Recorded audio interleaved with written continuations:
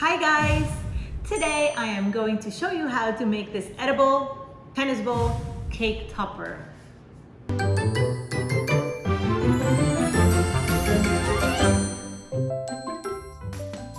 All right, so the first thing is to get my modeling chocolate mixed with a little bit of fondant to be the right color. So I am going to get a lot of white, a medium amount of yellow, and a very tiny little bit of green. Now Rice Krispie Treats, I'm going to shape it and into a ball. And now I am going to cover it with some gum paste so that it retains its shape. I'm going to let it dry. Notice that I'm making it smaller. That's because when I add the chocolate, it's gonna get bigger. And now I am going to add the chocolate.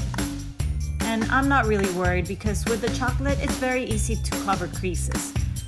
I have a brand new toothbrush, of course, and I'm going to use this to make the texture.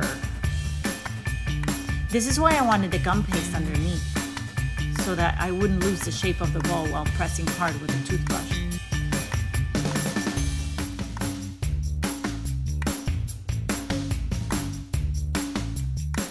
Ah, gosh. All right, so that wasn't sticking, it was coming apart, so I'm putting some piping gel underneath and I'm going to start over.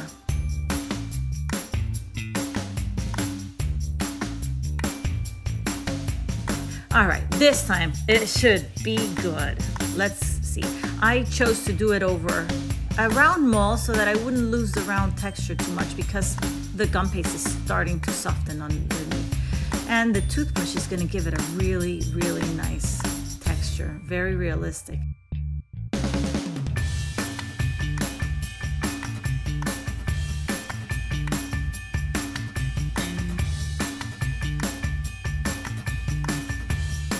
I am now mimicking the glue of the ball.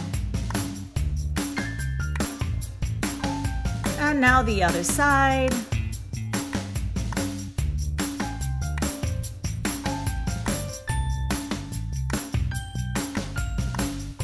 The one thing about working with chocolate is that the more you work it, the softer it gets. And that's the problem I'm starting to have. I'm starting to destroy the shape of my ball.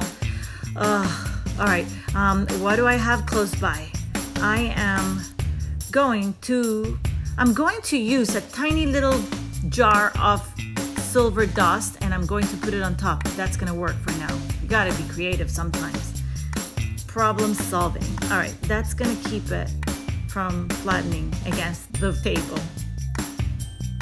Okay, Ah, I actually let it dry for a whole day and now I'm going to go over it. it. This is nice and dry so I'm not, every time I touch it, I'm not ruining it.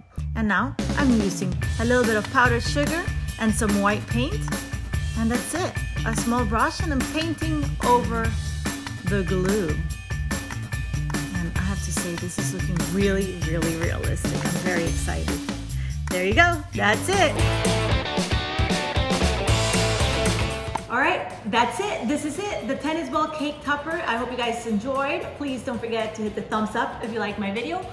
Subscribe to my channel and hit that bell icon so that you can get notified when there's a new video. Bye.